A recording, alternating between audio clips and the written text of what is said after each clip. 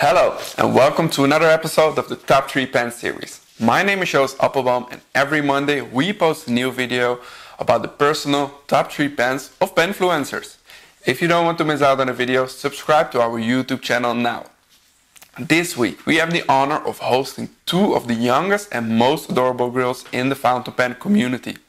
Little Pen Girl and Inky Art Girl are sisters, living in Australia and sharing their love for the pens through their YouTube channels. If you want a refreshing perspective on fountain pens, make sure to subscribe. As a special treat for our viewers, the grills will actually show their faces on camera instead of their hands. And if you want to know how they add pens to their collections, make sure to keep watching until the end of the video.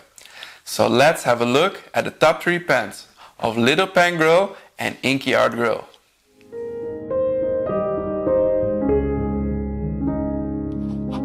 Hi, I'm Zoe, also known as Little Pen Girl. And I'm Mariah, also known as Inky Art Girl.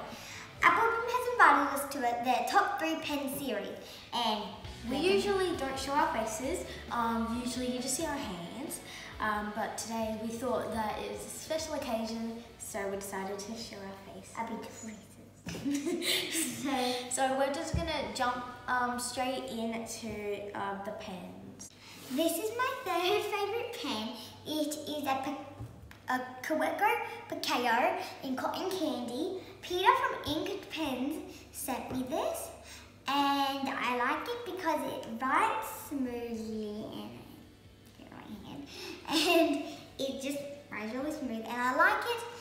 because it has flat edges, so it does not roll off like one of my other pens. I'm gonna spoil it, but um, it doesn't roll off. If I if I went this, yeah, it would, but it wouldn't roll as much if I did that to another pen.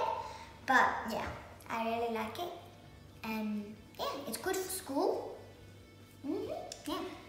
Um, so my third favorite pen is the Pilot Kakuno. Um, it's got a medium nib and it's got a little smiley face on the nib. Classy. And the reason why it is my favourite pen, well, my third favourite pen, is because um, I use it for, for a lot of schoolwork.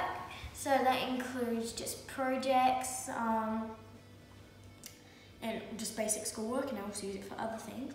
I have another one at school, which is got a purple cap and a white barrel, um, but this one has got a pink cap and a black grey barrel. I have a light pink one with a um white barrel.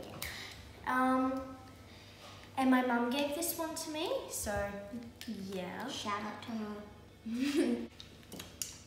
My second favorite pen is this one.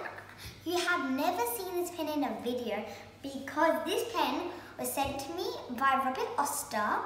The ink in there is Robert Oster made me and my sister our own ink and I put it in this pen because he also sent me and my sister the same pen and it's really pretty. It's like a purpley colour.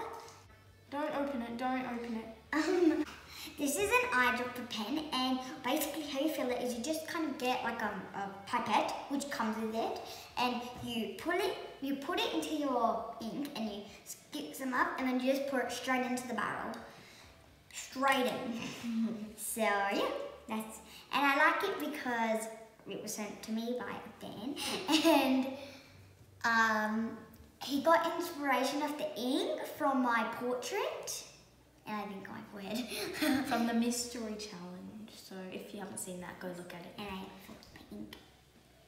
Um, my second favourite pen is the Swan pen from Jinhao. We used to have a set of these, but this is the only surviving one because all of them broke. And um, the reason why it's my second favourite pen is because it was my very first fountain pen I ever got, and that just makes it really special to me.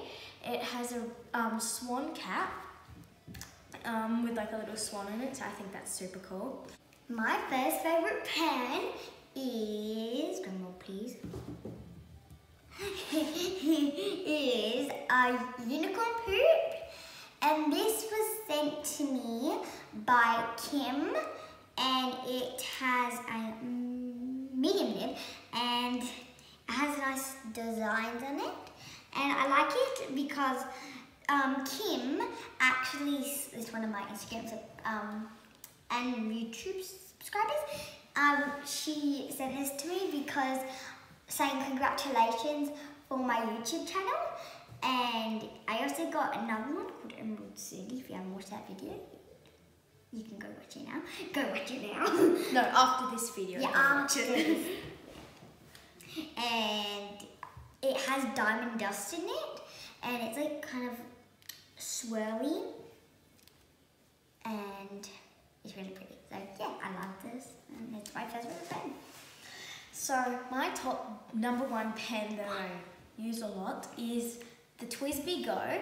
And the reason why it's my number one favorite is because I use this a lot in everyday life. I just use it. Not, not when you brush your teeth. True that.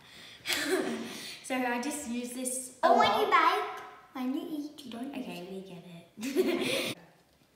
the reason why I love this pen so much is because um, I use it a lot um, for school, um, for not brushing my teeth, for baking. Um, I use it a lot and it's a demonstrator pen so you can see like how where the ink is and how much ink you have left and how it works.